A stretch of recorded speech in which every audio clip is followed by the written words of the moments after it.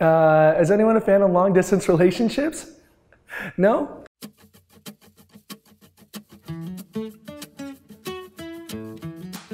Maybe some of you know this, but I'm in a long distance relationship myself.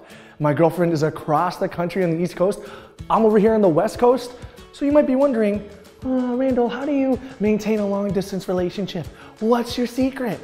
well, dear viewer, if you must know, it takes devotion, prayer, and carrier owls, like Harry Potter.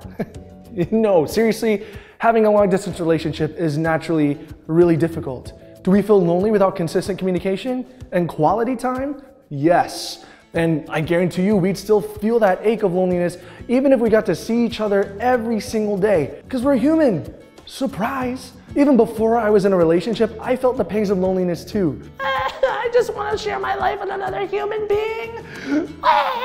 Guys, the truth is, we have an epidemic of loneliness in our society today.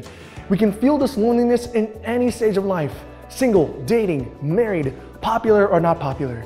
And whether we know it or not, we might be trying to numb that ache. Have you ever done the mindless scroll on your phones? Maybe mindless hours of video games or being occupied with work, surrounding ourselves with people, hooking up, getting wasted, drugs, or pornography. We can be surrounded by hundreds of people and still feel lonely.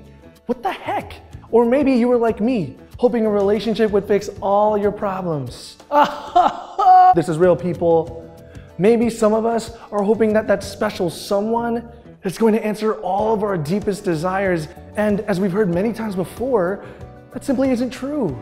But I mean, how hard is it to believe this when our culture makes relationships so emotionally charged? Obviously, I don't know all of your stories, but I do know this that deep down, there is a longing for intimacy, to be seen, to be known, acknowledged, and loved. This is such a good and human desire. But when unfulfilled, loneliness creeps in like, hey, what's up? I'm still here. The more we avoid being alone, the more lonely we'll feel. That's fact. So, Randall, what do we do? You learn to be alone.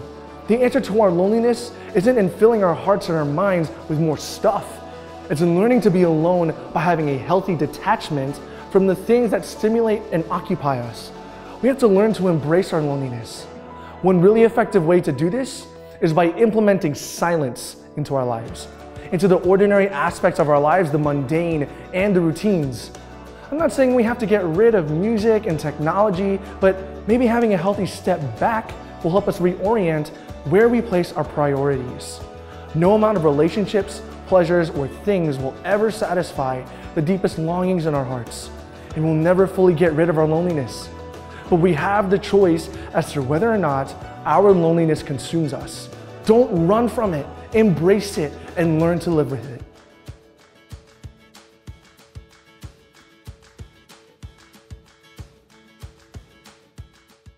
Hey, it's your favorite Filipino back at it.